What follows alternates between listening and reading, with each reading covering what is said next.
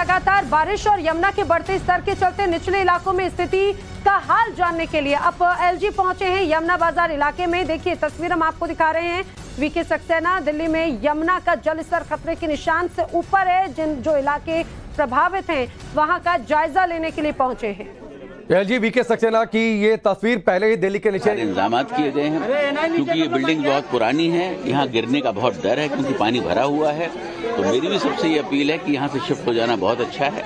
Otherwise कोई घटना घट सकती सर यहाँ पे इलेक्ट्रिसिटी कनेक्शन कभी भी ऑन है जी हाँ मुझे मालूम है इलेक्ट्रिसिटी के लिए भी आदेश दिए गए हैं कि इलेक्ट्रिसिटी को यहाँ से डिस्कनेक्ट करें जिससे कहीं कोई ऐसा ना हो कि पानी की तार को छूने के बाद कोई घटना घट जाए। मानसून की जो तैयारी है वो एकदम फेल दिखाई दिखाई दी है क्योंकि जगह जगह पानी भरा है जल जमा हुआ है लोगों को बहुत समस्या हुई है इस पे क्या कहेंगे सर? सर दो दिन तक लगातार जिस तरह से बारिश हुई है तो काफ़ी परेशानी लोगों को सामना करना पड़ा था।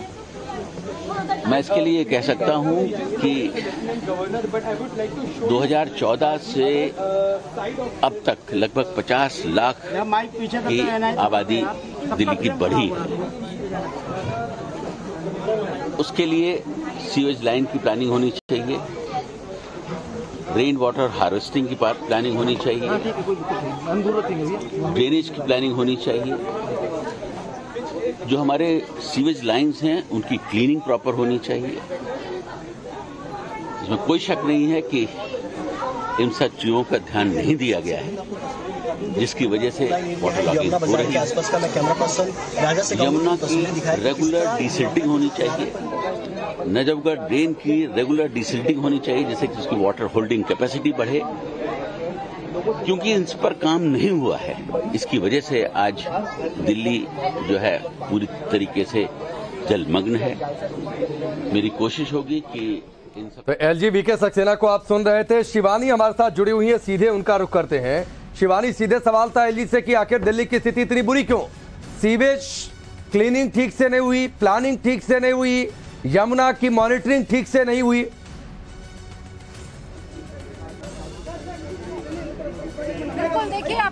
तस्वीरें दिखाते चले, जहाँ इस वक्त एलजी साहब मौजूद हैं। हम उसी यमुना बाज़ार के इलाके में हैं, जहाँ 4000 से ज़्यादा की आबादी रहती है और पानी यहाँ पर भर चुका है लो लाइंग एरिया है और एलजी जो कह रहे थे, बिल्कुल ये उनका कहना था कि पिछले कुछ सालों में लगातार इस तरह की परेशानी इस इलाके में होती है, लेकिन व्यवस्था को दुरुस्त नहीं किया गया। जिस तरह से आबादी बढ़ी है दिल्ली की और खासतौर पर इस पूरे इलाके में भी, ना ही कोई प्लानिंग हुई है, ना ही किसी तरह से इसको बेहतर बनाया गया है और हर साल, पिछले तीन सालों से लगातार इस तरह का नज़ारा हमें यहाँ पर दिखाई देता है। लेकिन इस बार जो हुआ है, अगर मेरे विजय अंकित दिखा सके किस तरह से पानी भरा हुआ है एलजी साहब से हम दोबारा एक बार बात करने की भी कोशिश करेंगे।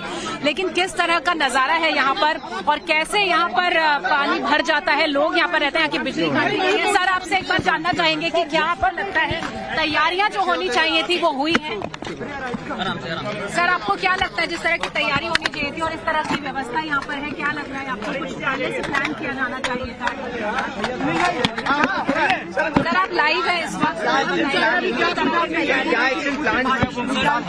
कितनी मुश्किलों में यहाँ पर आपको लोग नज़र आए अभी जो आपने दिल्ली की जनता वाटर लॉगिंग से परेशान है। ये एक हर साल का रिचुअल बनकर चला आ रहा है। जो सीवेज की क्लीनिंग होनी चाहिए, वो नहीं होती है। जो ड्रेन वाटर को हार्वेस्ट करना चाहिए या उसको प्रॉपर ट्रीट करना चाहिए, वो नहीं हो रहा है। सालों साल से जो नहीं हुआ है, उसकी वजह से हर वक्त वाटर लॉगिंग होती है। यमुना की डिसल्टिंग रेगुलर होनी चाहिए, जिससे कि उसकी वाटर होल्डिंग कैपेसिटी बढ़े। नजफगढ़ ड्रेन की डिसिल्टिंग रेगुलर होनी चाहिए जिसकी वजह से उसकी वाटर होल्डिंग कैपेसिटी बढ़े। ये सब चीज़ें न होने की वजह से आज दिल्ली के अंदर जगह जगह पर पानी भरा हुआ है। ये दुखद है और मेरी कोशिश होगी कि इन सब चीज़ों पर ध्यान दिया जाए जिससे कि हर साल जो दिल्ली की जनता को ये तकलीफें झेलनी पड़ती हैं उन ना झेलनी चीफ मिनिस्टर स्टेटेड पहले कभी इतनी बारिश नहीं हुई इसलिए तैयारी नहीं थी इस तरह की उनका ये कहना है।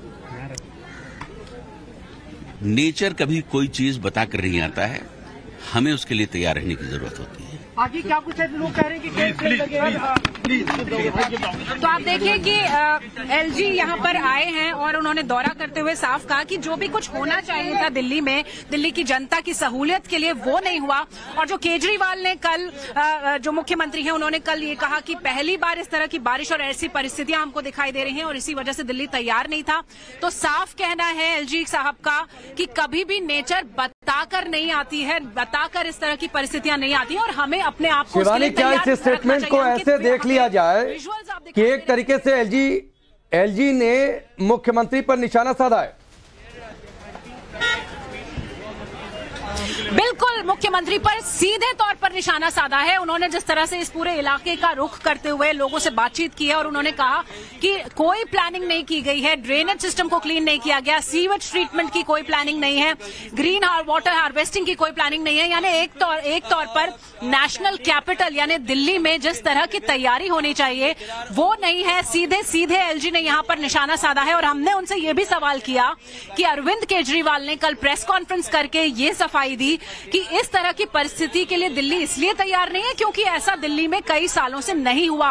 तो उस सवाल के जवाब में एलजी साहब ने कहा कि देखिए नेचर कभी बता कर नहीं आती है जो कैलामिटीज होती है उसके लिए हमको खुद को हमेशा प्रिपेयर्ड रखना चाहिए। तो एक बहुत बड़ा सवाल यहाँ पर एलजी साहब ने एक बार फिर खड़ा कर दिया है दिल्ली सरकार की तैयारी पर दिल्ली सरकार की सफ़ाई पर और यमुना बाज़ार के अलावा कई और इलाके हैं जहाँ पर एलजी अभी जा रहे हैं। आप देखिए किस तरह से लोग यहाँ पर परेशान है। चार हज़ार से ज़्यादा लोगों की बस्ती है। ये लो लाइंग एरिया है और यमुना में जिस तरह से खतरे के निशान से ऊपर पानी बह रहा है लोग हलकान है परेशान है। इन पूरे इलाकों में सामान इनका फंसा हुआ आपका सामान यहाँ पर फंसा सामान हुआ अंदर रखा हुआ है, निकालने धीरे धीरे खुद ही हम मदद कर रहे हैं। अपने परिवार के साथ मिलकर निकाल रहे हैं हम सामान को। देखिए यहाँ ये भी जरा इनसे जानने की कोशिश कीजिए कि हर बारिश में ऐसा ही हाल होता है।